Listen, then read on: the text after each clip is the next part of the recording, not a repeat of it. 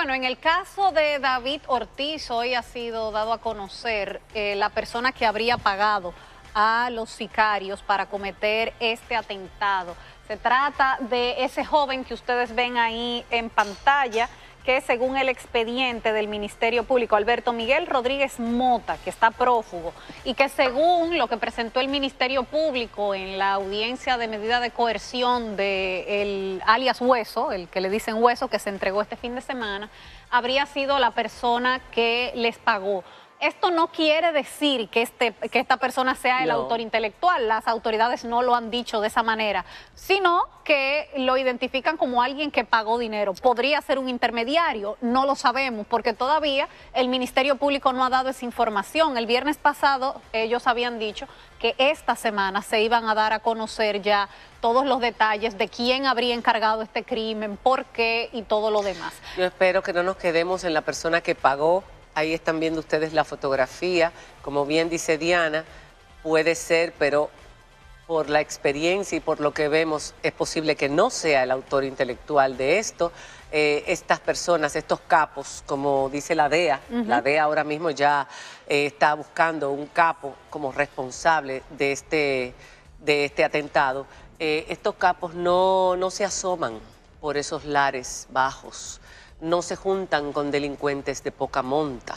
Los capos encumbrados lo que hacen es contratar a otros para que esos otros contraten a otros y a otros y a otros.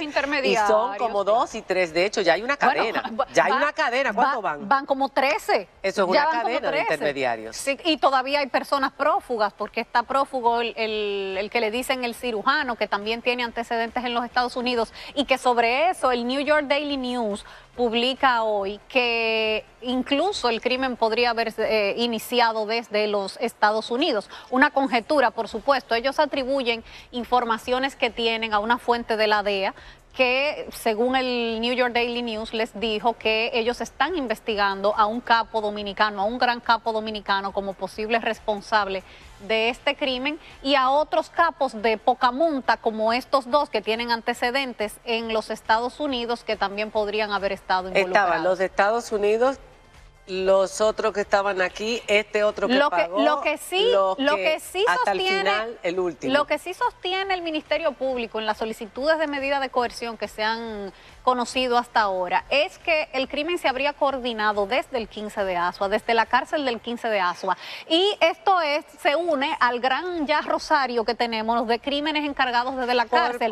porque aquí no hay control en las cárceles dominicanas. ¿Y, y, los, presos todos tienen y no pasa nada. Tú sabes la cantidad de veces que se ha anunciado en este país que van a prohibir los celulares en las cárceles, a, bloquear. las señales, que, que hasta leyes y de todo y, siguen apareciendo crímenes que son encargados de las Cuando los presos tienen que pedir permiso para hacer una llamada y le dan X cantidad de tiempo para hacer una llamada, las cosas están mucho más controladas. Que cuando, señores, pero a mi casa una vez una persona llamó desde la cárcel a una persona que trabajaba en mi casa, que era su esposo y yo no sabía que estaba presa, preso, y yo tuve para cometer un delito dentro de mi casa.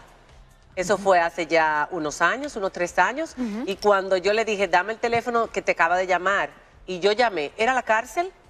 Pero que aquí era en la cárcel y el teléfono era de esa persona. Aquí se encargan robos y crímenes y estafas desde las cárceles todos los días. Nos enteramos ahora de esto porque fue a David Ortiz. Si no hubiera sido David Ortiz el que le dan el, tiro, no nos enteramos. Pero aquí ha habido casos famosos como, el, como el de Jordi Veras, que también fue desde la cárcel que se encargó. Señores, ya, ya, ya es hora de que se preste atención a ese tema de los celulares dentro de las cárceles para que esta gente no pueda cometer, seguir cometiendo delitos y trabajar a sus anchas. Eh, hay, hay este, este, ¿cómo es que se llama este señor? El, muchachito este que dicen que es el que pagó Alberto Rodríguez Mota. Ese está prófugo. Yo espero que se aparezca vivo. Vivo. Sí. ¿Y saben por qué? Porque si ese es el penúltimo eslabón de la cadena, es la vida de ese hombre peligra. Ustedes tienen que tratar de encontrar a ese hombre lo más rápido posible para poder saber quién realmente encargó el asesinato de David Ortiz. Porque esa persona que lo, ha, que lo hizo ha mandado a matar a mucha gente en este país. y tiene mucho poder en este país. Y no es posible que ese tipo de personas siga operando en este país, vaqueando a mucha otra gente, haciendo todo lo que hacen a sus anchas. Traten de que esa persona parezca viva y mientras más rápido mejor, porque al autor intelectual no le conviene que cante.